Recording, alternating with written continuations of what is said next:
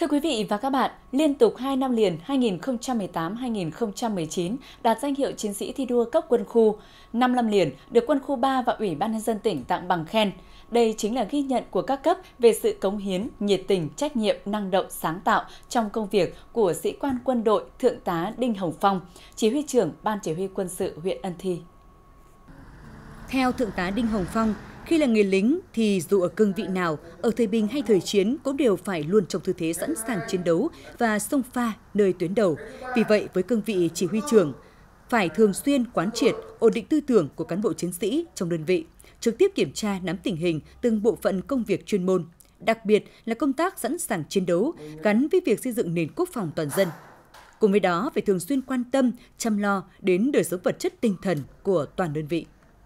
Với người chỉ huy, phải luôn nêu cao tinh thần nêu gương, trong chỉ đạo phải kiên quyết, trong đời sống phải gần gũi, mềm dẻo.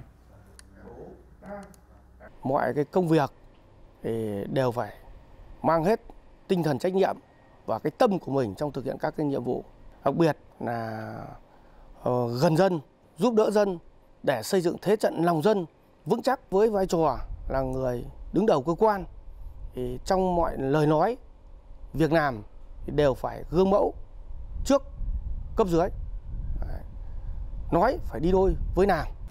những năm qua thượng tá đinh hồng phong đã lãnh đạo đơn vị luôn hoàn thành xuất sắc nhiệm vụ được giao với ba chức năng là sẵn sàng chiến đấu, dân vận xây dựng thế trận trong lòng dân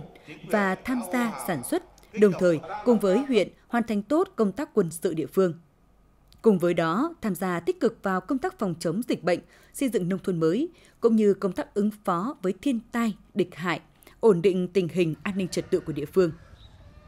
Đặc biệt, Thượng tá Đinh Hồng Phong còn là người khởi xướng phong trào nâng bước các em đến trường. Trong hai năm qua, huy động xã hội hóa và kêu gọi doanh nghiệp tham gia được hơn 100 triệu đồng, mua tặng 90 chiếc xe đạp cho học sinh nghèo.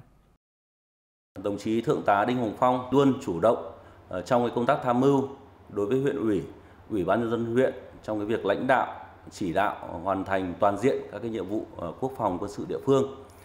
Ờ, về cá nhân thì ờ, đồng chí cũng luôn luôn gương mẫu, tích cực đi đầu trong mọi mặt ờ, công tác cũng như là sinh hoạt.